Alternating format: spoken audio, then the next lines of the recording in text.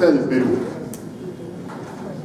queridos camaradas de la dirección del partido, compañeras y compañeros de todos los rincones de nuestra patria, amigas y amigos.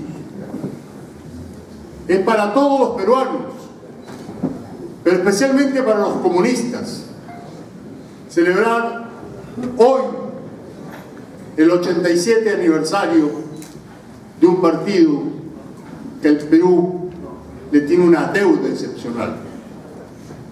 Es muy importante celebrar este aniversario porque es un testimonio innegable de la persistencia política, de la profunda juventud del Partido Comunista del Perú.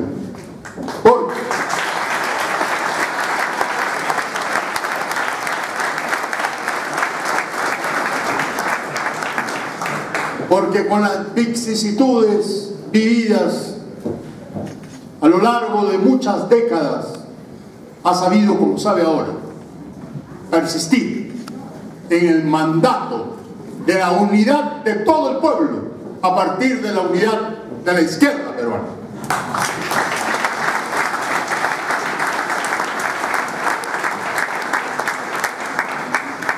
Y quiero decirle a los dirigentes del Partido Comunista del Perú, el Perú les tiene una deuda profunda. Una deuda porque no solamente han preservado el legado de José Carlos, no solamente han expresado el mandato de los siete ensayos, sino y también de modo objetivo y concreto en las aulas donde se forman los nuevos espíritus del Perú. Allí han dado el combate por la democracia, por afirmar los principales fundamentos de la lucha política revolucionaria y por saber distinguir, separando grano de paja, aquellos valores auténticamente democráticos que requiere el pueblo del Perú.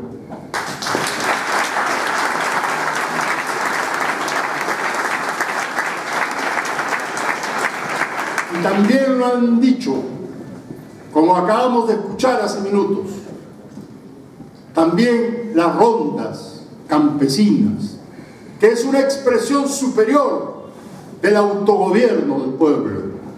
Allí la tarea de formador, de orientador, de capacitador de conciencias para el autogobierno popular, la expresión más transparente del trabajo revolucionario del Partido Comunista del Perú.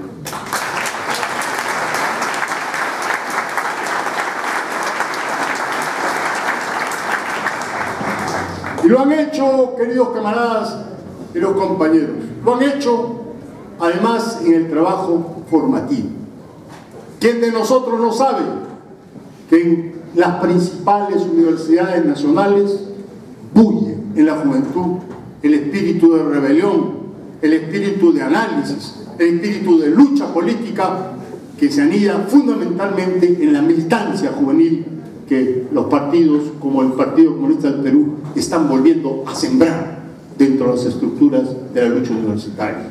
Están presentes también en el trabajo de elaboración de tesis, planteamientos, conceptos de un Perú nuevo por una patria nueva. Y es por eso que el Perú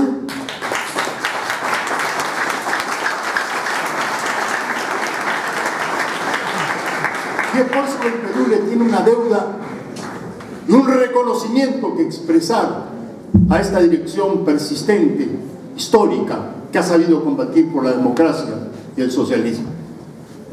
Yo quiero recordarles a mis jóvenes, aunque a veces antiguos por edad, pero jóvenes de espíritu, de militantes del Partido Comunista del Perú en el trabajo municipal. ¿Cómo no recordar? Algunos se sonríen, sí, los tiempos que en el 80, con Alfonso de Barrantes, comenzamos el trabajo de unificar los distintos grupos, sectores y fuerzas de la izquierda peruana. Recordamos además que la primera presentación de un bloque unitario de la izquierda significó 28% de la votación de Lima. La presidió Alfonso Barrante, nos ganó efectivamente el candidato que en ese momento era el arquitecto Orrego. Pero en la segunda vez, el 83, la izquierda unida ganó Lima. Y la ganó limpiamente. La ganó con más del 35% de la votación de Lima. Demostración fehaciente que con la unidad se puede ver.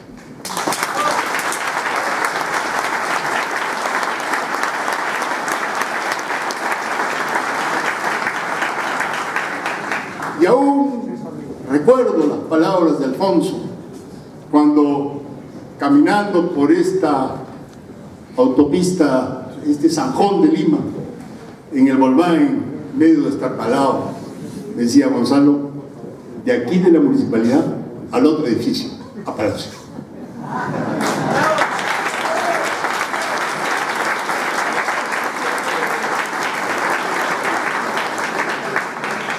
Para mí fue una experiencia, y esta es una confesión personal, una extraordinaria experiencia, encontrarme trabajando codo a codo con la célula municipal que encabezaba entonces, en el caso del Partido Comunista del Perú, si mal no recuerdo, César Rojas. Por ahí está.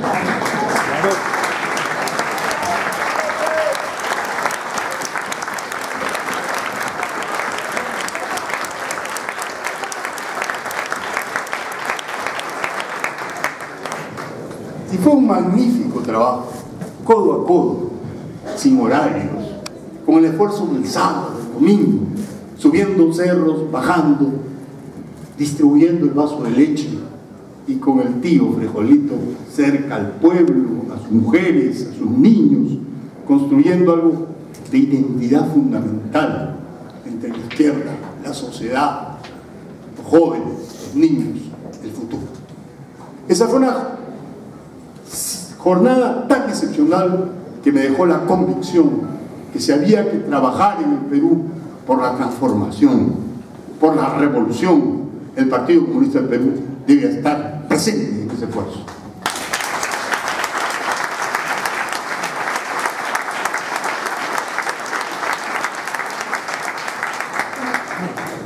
Y ahora, recientemente, cuando vemos la lucha por la defensa de los recursos fundamentales de los pueblos originarios del Perú.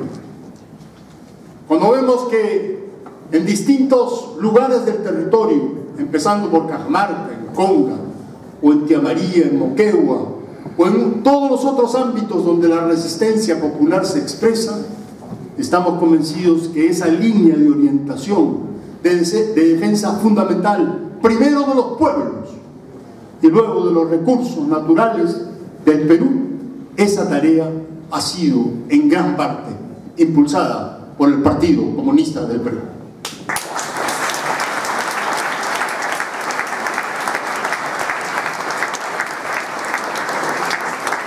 Saludo entonces, queridos camaradas, estos esfuerzos importantísimos para la vida peruana. Esa es la deuda también, insisto, que el Perú le tiene al Partido Comunista del Perú.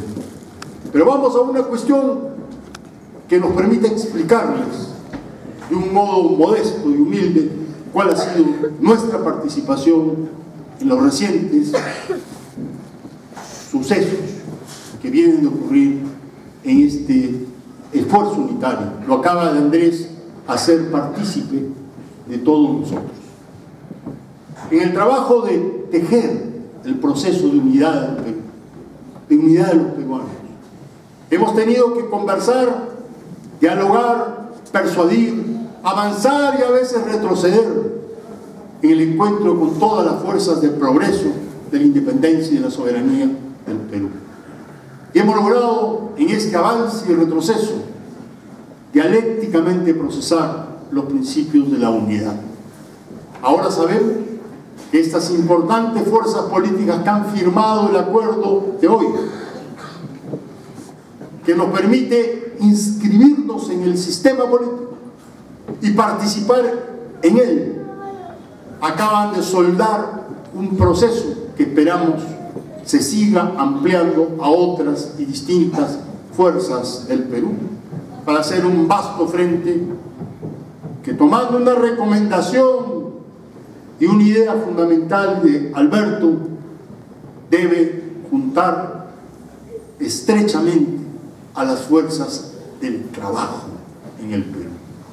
De todas las categorías del trabajo, desde el modesto esfuerzo del taxista, el transportista, hasta el alto y elevado esfuerzo del investigador científico, del intelectual, junto con el obrero, el campesino, y todas las categorías sociales del trabajo. Este gran movimiento del trabajo por recuperar sus derechos fundamentales frente a la dictadura del capital, que es no otra cosa que el modelo neoliberal.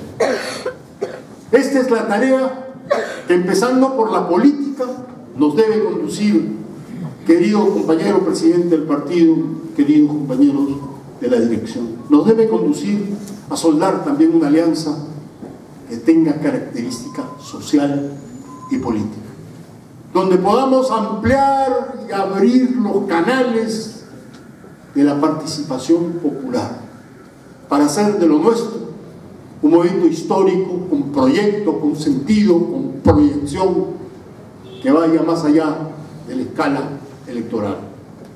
Y agradeciendo sentidamente el esfuerzo de los queridos compañeros que hoy día sueldan este principio de unidad, también con ellos coincidimos como lo hicimos en la mañana, que deberá ser aquel que abra anchas alamedas que Salvador Allende señaló en su discurso fundamental cuando asumió el mandato democrático en Chile.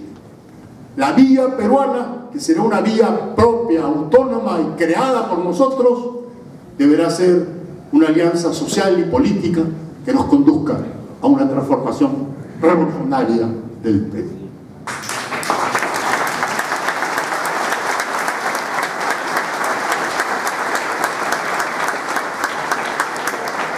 Solo nos queda decirles, queridos compañeros, queridas compañeras, que nuestra participación está a disposición de ustedes. Que mi único interés es servir la causa de la unidad de todo el pueblo. Que allí estaré, cualquiera sea la categoría o jerarquía que pueda revelarse de mi participación política, les digo con el corazón más sentido, estaré al servicio, cualquier sea el curso del mandato de la unidad de toda la izquierda, la unidad de todo el pueblo del Perú. Muchísimas gracias, presidente.